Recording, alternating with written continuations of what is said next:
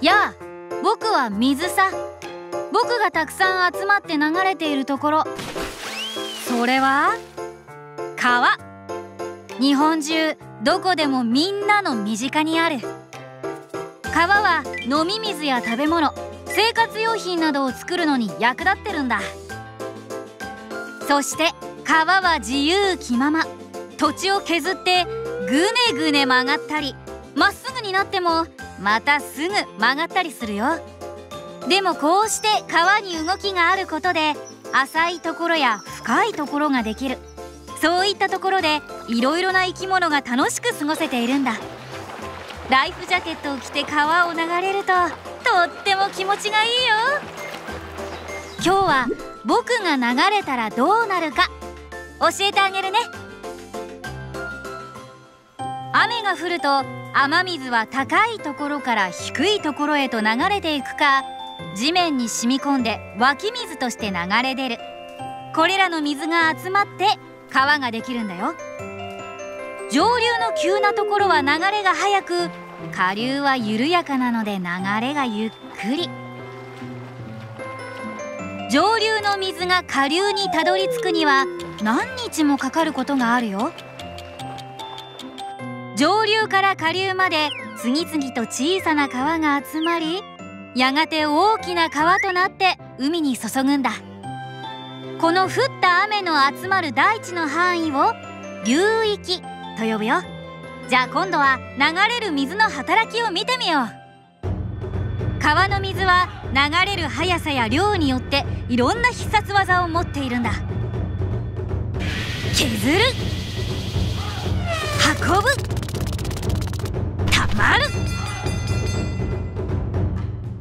れる水の力で土地を削って土砂を運んで溜めているんだ。なので川には水と一緒に土砂も流れているよ。川の水で運ばれる土砂は大きさによって呼び名が変わるんだ。上流は粒の大きい礫などの土砂が溜まっている。川が急で流れが速いから土地を削る力や土砂を運ぶ力が強い。中流は少し緩やかで上流ほど流れは速くない。だから上流から来た砂などの土砂は溜まっていく。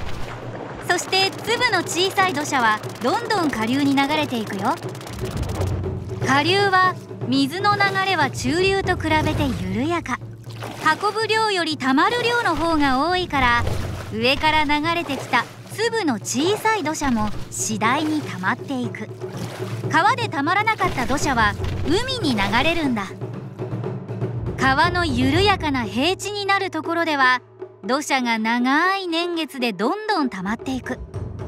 するとすごい!川の力でこんな広い平らな土地ができた。何千年もかけ洪水のたびに山から運ばれた土砂が溜まったんだ。こうしてできた広い土地には扇状地や三角巣と呼ばれる場所もあるよ。粒の大きい礫が溜まっている扇状地は水が染み込みやすい。水はけがいいから果物や野菜を作るのに最適。一方三角巣は粒の小さいシルトや粘土が多い。粒が小さいから水が染み込みにくくたまりやすい。昔の人々が水はけが良くなるようにとっても工夫して田んぼなどに使いやすいようにしたんだ。こうした恵みの多い広い土地に人はどんどん住むようになったよ。でももともと川が作った土地だから雨が降るとたまに溢れたりするんだ。そこで人は川が溢れないように堤防を作りさらに多くの人が川の近くに住むようになったんだ。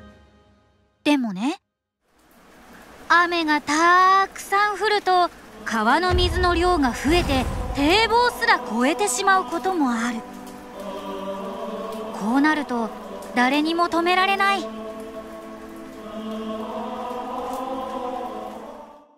突然ですがここで川の水クイズ。第1問。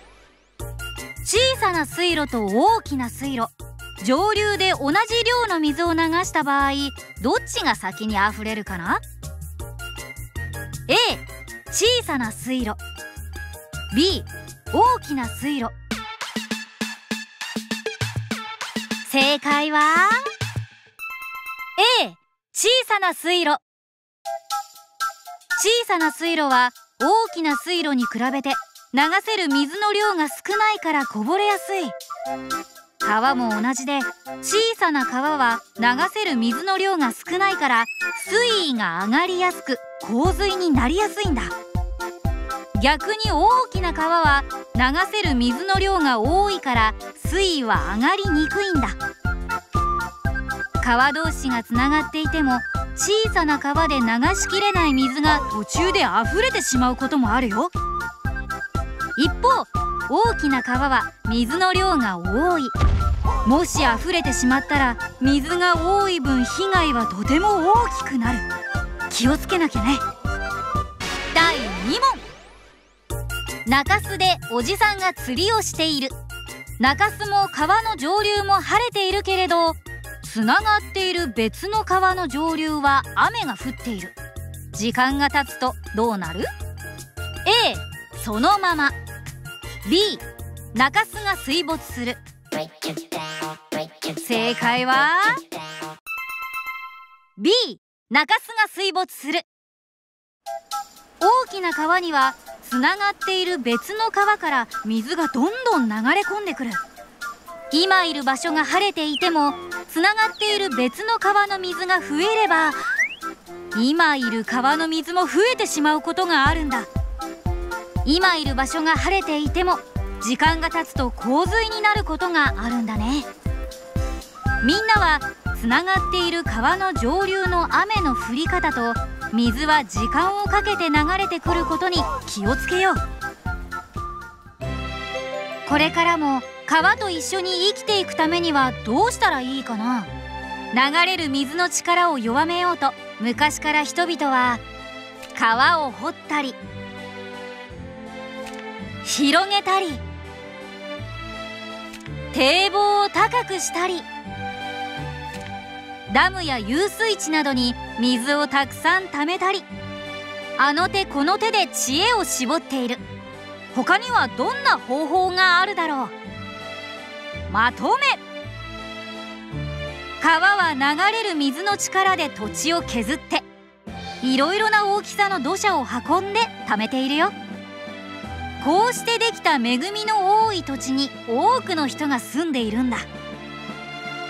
だけど雨がたくさん降ると溢れることもあるよ最近は雨の降り方がどんどん強くなってきているから油断しないで低い場所に住んでいる人はできるだけ高いところに逃げようね。